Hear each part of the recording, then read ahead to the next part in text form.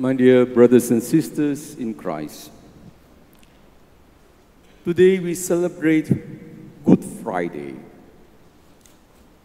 How can this Friday be called good? When Jesus was cruelly tortured, put to death unjustly. And yet, the irony of today's celebration is that it is the cross of Jesus that God will reign on this earth. That is why Jesus, he was not killed by a sword. He was put to death by crucifixion so that he could be hung on the cross.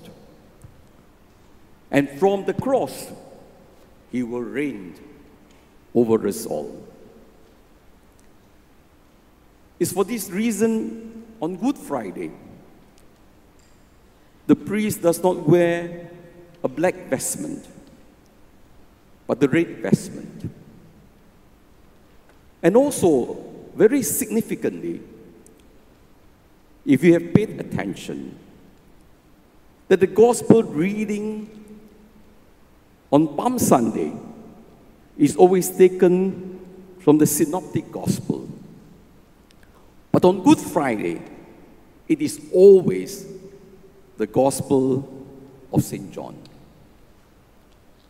What is the reason? The Synoptic Gospel present Jesus in his passion as a man who have gone through tremendous suffering, pain, agony, humiliation. The emphasis of the synoptic gospel was on the suffering of Christ. St. John gives us a different portrayal of Jesus in his passion. He was certainly not a coward. What we see in St. John's Gospel is a king who is a captive. St. John's Gospel presents Jesus truly as the king. That is why, again, it's ironical that when Jesus was put to death, the notice over on the top of the cross says, Jesus, the Nazarene, King of the Jews.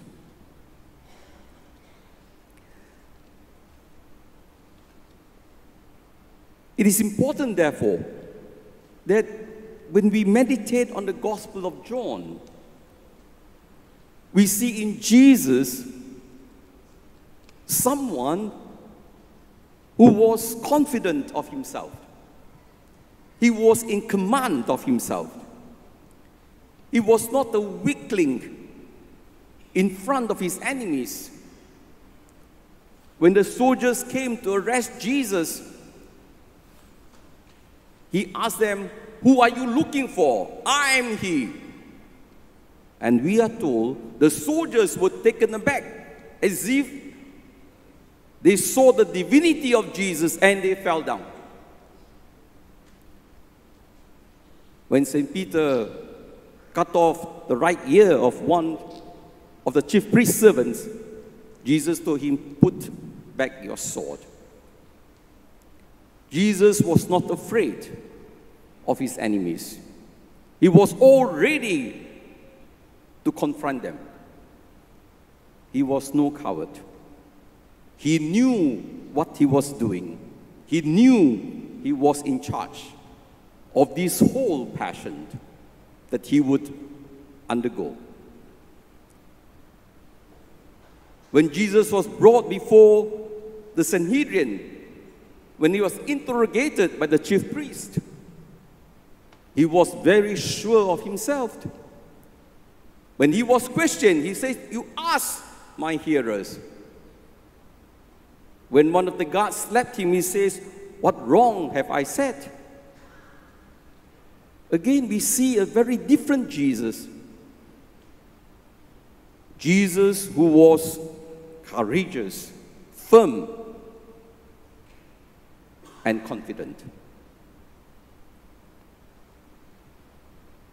When Jesus was brought before Pilate, again, what do we see? It was Pilate who was confused, restless, disturbed. He was a weakling, although he was the governor. But Jesus was confident before him. Jesus, when questioned, he told Pilate, My kingdom is not of this world. I come for the truth. Jesus again was certain of his mission. And when Pilate said, I have power over you, he says, You have no power over me unless it is given to you from my Father in heaven. So, the presentation of Jesus is in John's Gospel. You notice that even the passion was described in a very terse manner, without all the gory details. He was brought to Golgotha, he was crucified, and he died.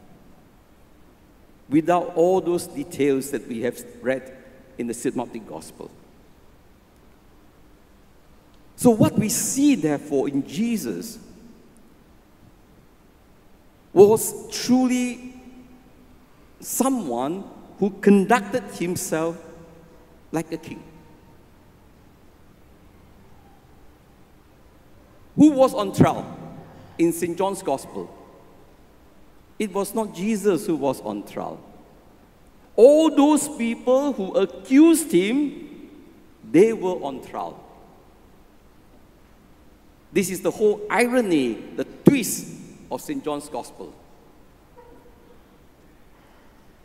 We are told Jesus was brought before Pilate. Pilate, although he was governor, he was afraid of the people. He knew that Jesus was innocent. He did not stand up for the truth because he wanted to be popular. He was afraid that he might lose his governorship. He wanted to please the people. He was afraid. He was a frightened man. He has no courage. That was Pilate. A very fearful, insecure man. And here before him, the prisoner, he was very secure of himself. You look at the chief priests, the religious leaders, they too were inconsistent, full of hypocrisy. They wanted to put Jesus on a religious charge that didn't go through. And they framed him on a political charge instead. They too were not honest. They knew they had no case. And the people, the people supported Jesus when they found that Jesus did not live up to the expectations. They abandoned him and chose a bandit, a rebel instead. All these people, before Jesus, therefore, have been exposed by our Lord. This is what we mean. The trial of Jesus that was taking place was a judgment on all those who rejected our Lord, all those who condemned him. However, uh, this trial continues today in our hearts. As we sit here for this Good Friday service, the same judgment is taking place as even as we hear the word of God.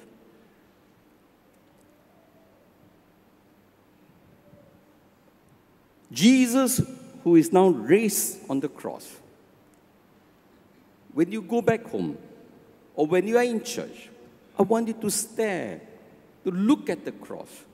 That's why it is very important. Jesus is raised on the cross so that we can contemplate on the cross. If you look at the cross closely, the cross will speak to your heart. The cross will challenge you and make you ask those fundamental questions of life. How did that man get there? What did he do? What sins did he commit? Why did he die such a tragic death? Who is he? Why did he suffer innocently? If this man is God, who is God then?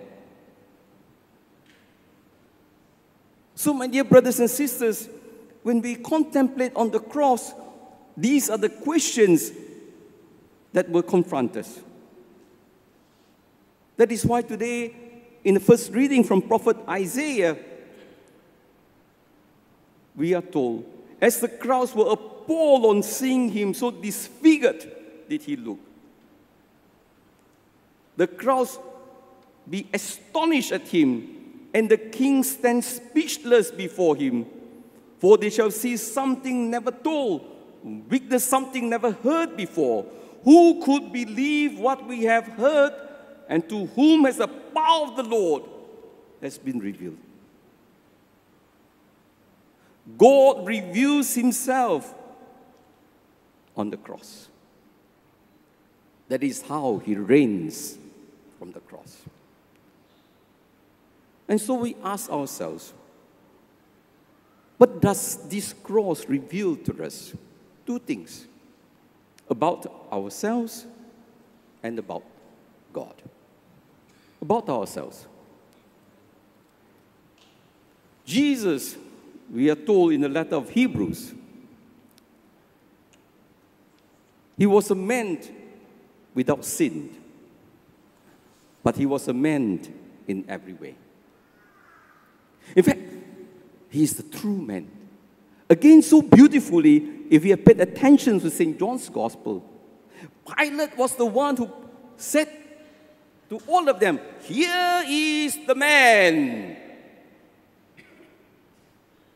We are all not men. This is the man. Why? because he stood for the truth, because he was authentic, because he was true to himself, true to God. The rest of us, we are not the true men. He is the true man because Jesus has carried all our sufferings in his body.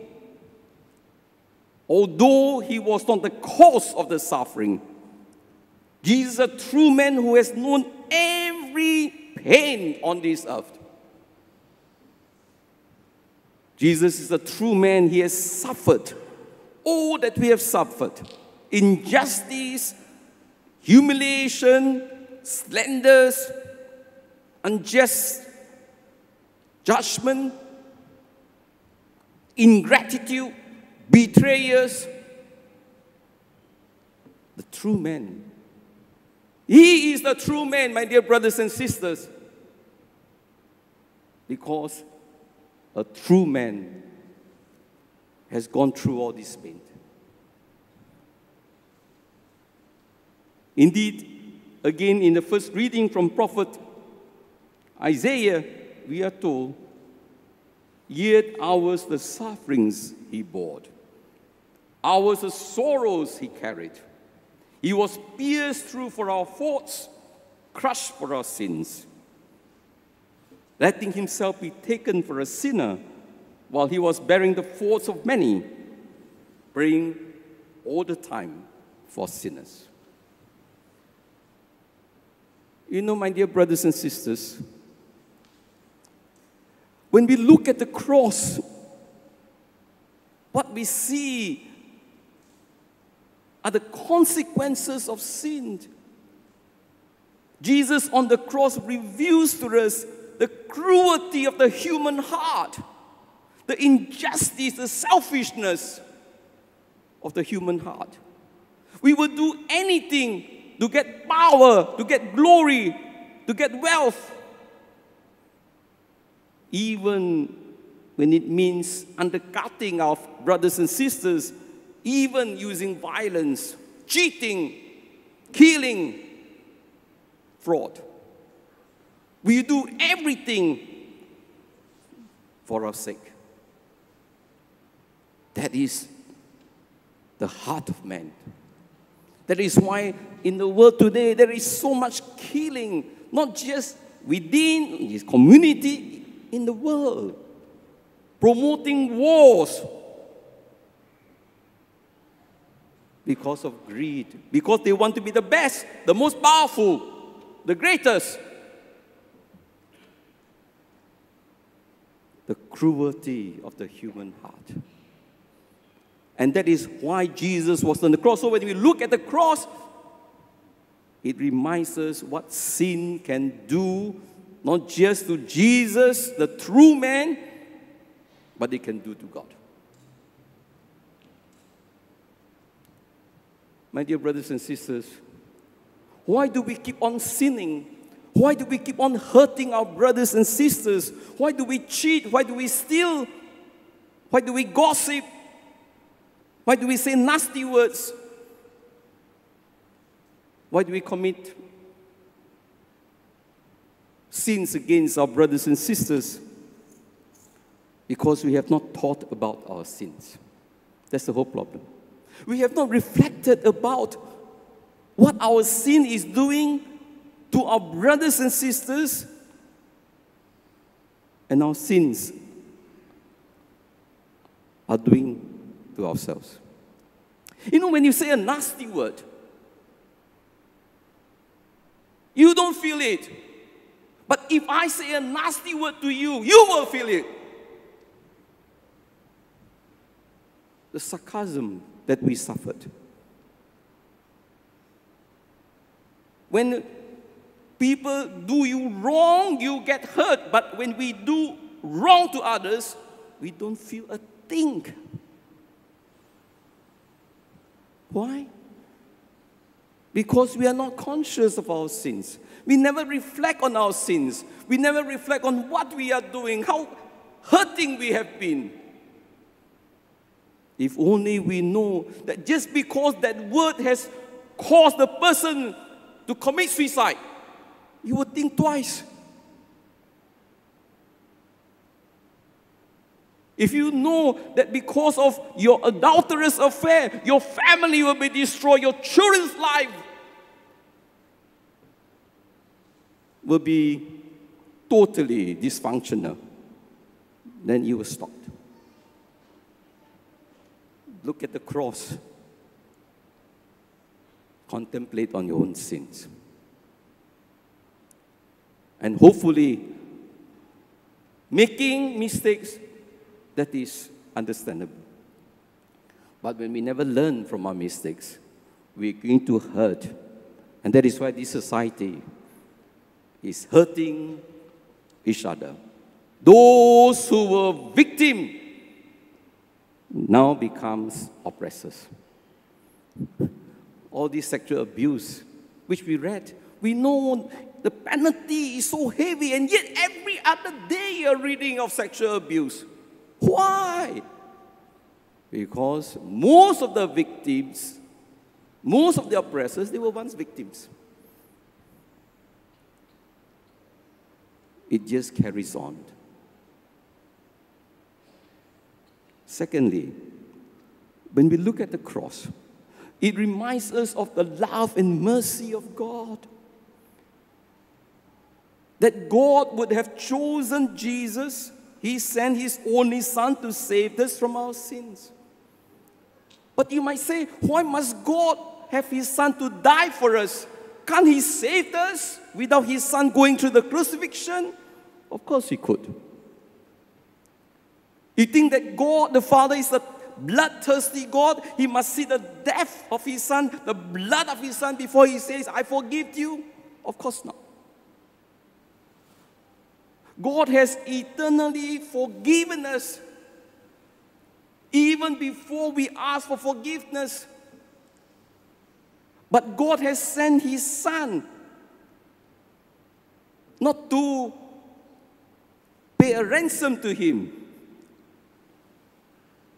for forgiving us, rather, because God loves us and forgives us, therefore, Jesus died. Without the death of Jesus, we will never know how much God loves us. So, the death of Jesus was important for God to reveal to us that He has always forgiven us. He has kept nothing. Love does not keep a record of wrongs. He has pardoned us all. For this reason, the letter of Hebrew tells us what should we do then? It is not as if we had a high priest who was incapable of feeling our weaknesses with us. We have one who has been tempted in every way, though without sin. Let us be confident then in approaching the throne of grace that we shall have mercy from him and find grace when in need of help. With confidence, therefore, no matter how great you are a sinner, no matter how many years you have left the church, whatever sins you have committed, Jesus knows. We can go to the throne of mercy. He has already forgiven us, but you need to receive that forgiveness. You need to hear that your sins are forgiven. And that is why I urged you again. If you want to celebrate Good Friday, go back home and release your prisoners, release your enemies. I forgive you. Some people need to hear the words, I forgive you. That's why we go for the sacrament of reconciliation. We need to hear the words from the priest speaking on behalf of our Lord Jesus Christ. Your sins are forgiven. That is. So, my dear brothers and sisters, today as we come for this passion, it just tells us this the power of the cross, the power of grace over sin, the power of love over hatred, the power of forgiveness over vindictiveness, the power of mercy. In this passion, it simply means that if we love enough, hearts will change. If one of your spouse is an adulteress, if you forgive, if you love, that person will change. If you have a student who is lazy, don't want to study, if the teacher is patient enough, he will become a great scholar. If there is a great sinner here, if he repents and turns to God, he will be a great saint. Nothing is impossible for God to transform. When there is love, love overcomes all things. That is why in the Synoptic Gospel, the people, the religious leaders, said to Jesus, Come down from the cross and we will believe you. Jesus will not come down. He stays on the cross so that he can reign from the cross.